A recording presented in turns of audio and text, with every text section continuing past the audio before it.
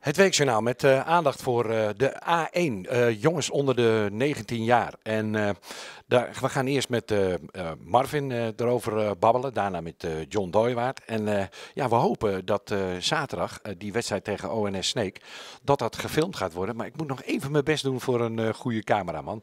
Maar Marvin, um, afgelopen zaterdag, nou, lekker uitslag.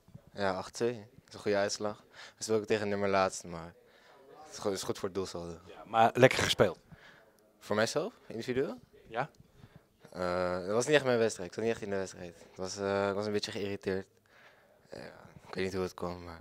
Oké. Hey, uh, je bent een uh, soort uh, aanvallende middenvelder. Hè? Een middenvelder met veel actie, actieradius naar voren. Hè? Ja, een soort box-to-box middenvelder, zeg maar. Ik ben wel aanvallend ingesteld heel goed. Hey, uh, je bent een echte DVS'er, hè? Je komt uh, helemaal vanaf uh, de jeugd nu zo'n beetje omhoog zetten. ja, ik was in de ik was eerstejaars D, toen kwam ik naar DVS. Ik begon eerst bij EFC en nu speel ik inmiddels al zeven jaar bij DVS. Dus inmiddels wel een beetje een DVS'er. Ja, je bent zeker een DVS'er, want je geeft ook nog training aan de jeugd, hè? Ja, ja voor, dus voor stage dan, voor school, geef ik aan de E2 les, of training. En ja, dat doe ik gewoon voor school, sport en bewegen. Ik uh, snap dat uh, je, je hebt het over school en dan ga je het natuurlijk gelijk over les hebben in plaats van uh, training. Dat snap ik ook wel. Hey, welke school? MBO Amersfoort en dan bij Bokkenduinen, die locatie. een soort SIOS, een soort opleiding voor sporters? ja, SIOS en ja, gewoon sport en beweging. Ik doe zelf niveau 4, maar ik heb ook nog niveau 3 en niveau 2. En ja, nu zit ik in de tweede, dus het gaat er nu toe best wel goed. Zit die trainer van FC Horsta, Mark Bakker? Ja, die zit ook daar. Ik heb, ik heb vandaag nog les van hem, toevallig. Kijk, zie je, die, die interview ik nog wel eens voor mijn programma De Warming Up. Mark Bakker, leuk. Ja, dat is een leuke kerel. Ja, hey, uh, A1, het begint steeds beter te draaien. Heb ik uh, zo langzaam maar zeker het idee. Ja, we hadden een stroeve start, maar nu, uh, nu begint het ja, goed te draaien. Alleen de uitslagen die laten ons nog een beetje na. Dan zijn we beter dan tegenstander. Hebben we, ja, zijn gewoon veel beter en dan uiteindelijk krijg je nog een stomme tegen. Dat is wel vaak wel zonde. Oké, okay. maar goed, uh, acht doelpunten, dat, uh, dat, is wel lekker. Uh, aanstaande zaterdag, uh, Snake, weet je daar iets van? Hoe die, hoe die jongens spelen? Nee, ik heb geen idee. Ik heb er nooit tegen gespeeld ook, dus dat is voor mij ook nieuw. Oké, okay, maar je hoort het vanzelf al van jouw trainers, John en John, hoe, hoe je die ploeg gaat aanpakken, hè? Ja, we krijgen vaak al gewoon informatie via de app. Dan krijgen we een, ja, een soort mail, of ja, zeg maar een lap met tekst over de informatie over de tegenstander waar we moeten letten, waar we scherp moeten zijn. Dus zo krijg je wel informatie en weet je wel een beetje wat je te wachten staat, maar het is altijd nog even wachten tot, de, tot in de wedstrijd, zeg maar. Okay. Even voor de DVS-supporters, hoe laat zaterdag? Uh, drie uur, veld 1. Heel veel succes, uh, ook met je carrière, Marvin.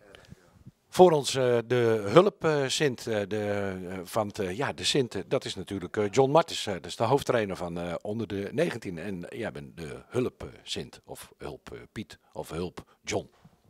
Ja, als je dat zo, wil, uh, zo, zo ziet, dan, dan wel ja. Uh, op papier natuurlijk wel, maar uh, ja, we zijn eigenlijk wel één met z'n tweeën. We vullen elkaar daarin heel goed aan. En, en, en John staat dan voor de groep en ik ja, sta er een beetje bij dan. Hè. Hey, worden jullie wel eens de twee J's genoemd in plaats van de drie J's? Ja, heel vaak. Heel vaak. En dat vinden we ook heel leuk. En zo zien wij ons ook als de twee J's. Dus dat, uh, dat is hartstikke leuk. Hartstikke mooi. Hey, en elk jaar weer die uitdaging om van, van uh, heel veel individualisten, individueel goede voetballers, een team te maken. Dat is jullie uitdaging, denk ik. Heb ik zo het idee, John? Ja, dat, dat klopt. Je, je ziet, dit jaar hebben, moeten we negen nieuwe spelers inpassen. Nou, waarvan zeven van een BVO komen. Nou, je ziet bij een BVO uh, wordt heel veel individueel getraind. En wij zijn eigenlijk bezig met het groepsproces. Het, als team te, te, opereren zeg maar, in een wedstrijd. Dus dat is wel heel lastig. En dit jaar uh, was extreem veel nieuwe spelers erbij. Dus daar zijn we wel, uh, ja, wel heel erg druk mee. Maar we zien met de week gaat het steeds beter daarin. Dus dat is wel, uh, dat is wel leuk om te zien. Heb je daar ook met elkaar trucjes voor om, om, om daar echt een samenhang in te krijgen? Of praat je ook veel individueel met de, de individuele spelers? Ja, we praten heel veel met de spelers zelf. En dan ook op zaterdag het aan te geven als groep, zeg maar. Maar door de week heel veel met de spelers zelf. Dat we toch echt bezig zijn met een groepsproces en niet individueel. En zie je langzamerhand ook al resultaten daarin? Ja, ja heel erg. In het begin hebben we het echt heel erg lastig gehad. Je ziet gewoon dat jongens ja, echt zichzelf willen bewijzen. Komen bij een BVO vandaan, willen zich eigen bewijzen. Gaan heel veel dingen doen wat ze niet moeten doen. Ja, en dat gaat echt, met de week gaat het echt steeds beter. En de jongens beseffen nu ook dat het ook als groep moet. En dat, ja, dat, dat is wel heel leuk om te zien. Ik heb het al een paar keer uh, bekeken en toen viel me inderdaad op dat er wel heel veel jongens bij zijn die heel graag met die bal aan de loop willen. En even vergeten dat ze ook iets uh, samen moeten doen. Ja, individuele kwaliteit, ik vind, het, ik vind het altijd prachtig hoor, individuele acties en zo. Maar ja, dat moet toch iets minder, denk ik. Ja, soms is het ook gewoon te veel. Echt te veel gewoon. En dat, ja, dat, dat moet er ook uit. En dat gaat er ook steeds meer uit. En dat, uh, die jongens zijn niks anders gewend. Die, die komen bij een BVO vandaan. Uh, die willen zich eigenlijk hier, wat ik net zei, bewijzen. Gaan dan dingen doen wat ze niet moeten doen. En dat is met name veel lopen met de bal, individuele acties opzoeken. Niet één man, twee man, maar liefst drie man passeren. Maar het rendement is daarin heel erg laag. En de laatste tijd zie je gewoon dat het rendement steeds hoger wordt, omdat we echt als groep bezig zijn. En dat is, wel, dat is ook wel de bedoeling natuurlijk. En hoe was dat uh, afgelopen zaterdag tegen Tubantia? Ja, dat was waarschijnlijk een van de zwakste tegenstanders.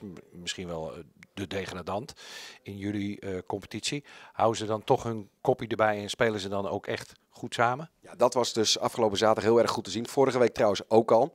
Hadden we een beetje, een beetje pech tegen, tegen Excelsior. Maar die moet je eigenlijk met 5-6-1 winnen. En dan zie je in de tweede helft zie je dat de groep zeg maar, het oppakt. En dat was afgelopen zaterdag zijn we weer een stap verder gegaan daarin. Ja, en ja, je komt ook in een kwartiertijd, kom je denk ik ook met 3-4-0 kom je voor. Ja, en dat is dan met name de groep die dat doet. En dat is wel heel leuk om te zien. En ook uh, tot aan de laatste minuut. En dat, niet dat je zeg maar met 8-1 voor staat of 8-2 voor staat, dat het dan allemaal wat verslapt. Nee, dat dus totaal niet. Gewoon echt tot aan de laatste seconde doorgaan met waar je, waar je begonnen bent, waar we mee bezig zijn, wat we graag willen.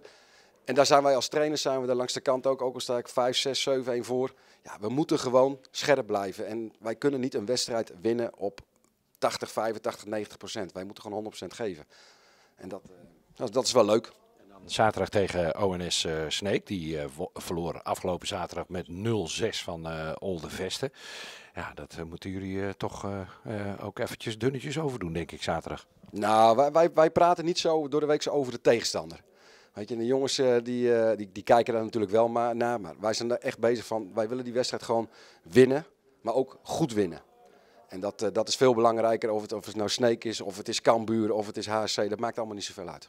Over Cambuur gesproken, dat is natuurlijk de geheide kampioenskandidaat. wat blijft er voor jullie over? Na competitie, denk ik. Dat is het doel, denk ik, John. Ja, ja, natuurlijk. we hebben nu weer de pech dat we één ploeg erbij hebben zitten die, uh, ja, die er echt wel bovenuit steekt. En uh, we zijn hier ook echt tactisch afgetroefd door Cambuur.